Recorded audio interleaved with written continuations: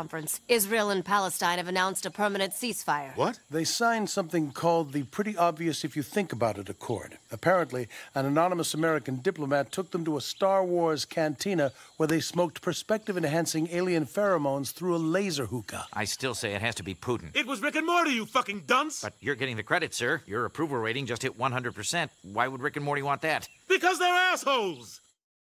I'm flattered, but it takes a whole team to achieve what we did today. Thank you. Well? They haven't been back home, sir. We've got every possible location under surveillance. God damn it, they're right here! They're here, God damn it! Code Red, Code Red. Everybody relax. Just waiting for you in the only room you can't blow up or spy on. So we're not changing timelines for you, but now you have everything you want, so you can forget we exist and we'll return the favor. You couldn't say that in the text? Well, since we won't be seeing each other again, my... Guys, we get it. It's a code red. Enough.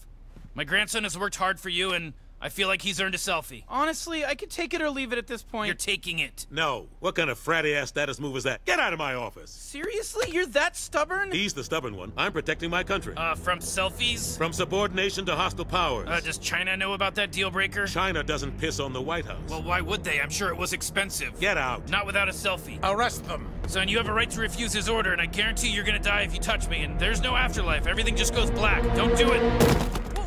Whoa, Rick! Okay, what was that? Death. What kind? Instant. There was no sound. He just died. Yeah, terrifying. It's a terrifying thing to watch happen. It's called a deterrent. You couldn't just knock him out? It was knocking out, a deterrent. Everyone wants to be knocked out. Nobody wants to be dead. You committed murder in the Oval Office. Now you can't leave. That's fine. I said I'm not leaving without a selfie. Uh, I don't need a selfie. And I'm saying you aren't getting one, and you aren't leaving. so we agree. Yes. No, we disagree. Because you think you're getting a selfie and leaving. Am I getting a selfie? Never. Then I'm never leaving. Exactly. See? Does anyone have a shot? Yes, nine people. I can show you. But I wouldn't recommend. Open fire. God, you are dumb. Get the president out of here. Bad idea. Wait, why? Because if there isn't someone in here that they're not supposed to kill, they're gonna wreck the place trying to kill me. As long as you live, no matter where you are, if it isn't in a selfie with him, I'll be here.